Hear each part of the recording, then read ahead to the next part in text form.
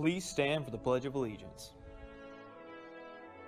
I pledge allegiance to the flag of the United States of America and to the republic for which it stands, one nation, under God, indivisible, with liberty and justice for all.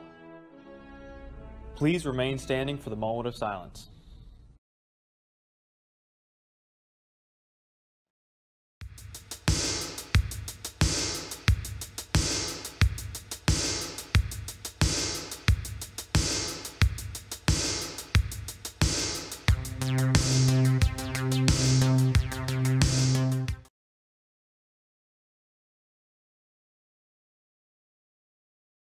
Good morning, PCHS. I'm Melvin Salad. And I'm Brianna James. And you're watching the Bears Den News. Today is September 20th, 2024.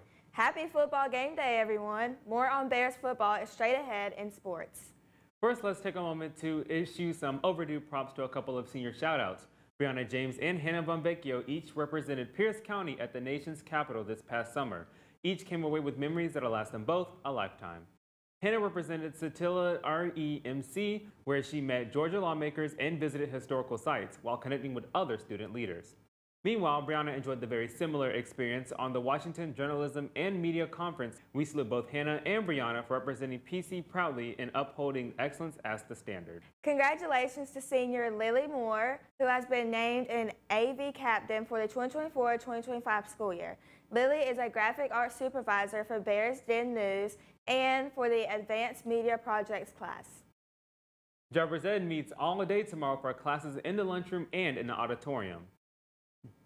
Seniors, check out the PCHS scholarship page for info on the NASC scholarship, which awards $1,000 each to 75 finalists and $5,000 each to five national winners with strong records of leadership in student council. PCHS will host a blood drive next Tuesday, September 24th. If you plan to donate, sign up during your lunch or stop by Ms. Knowlton's room. You must be 16 years old with parental consent to donate. Support our future healthcare professionals and HOSA by ordering one of these fantastic Pierce sweatshirts. Sizes are youth small up to adult 3XL. Scan the QR code to order. All orders and payments are due by October 3rd. And now, now here's Nate. Now here's Nate with sports. In sports, remember PCHS swim tryout at the Waycross YMCA. You must have a current physical on file and insurance on file at PCHS to try out. Tomorrow, JV softball visits South Effingham for action beginning at 12 o'clock noon.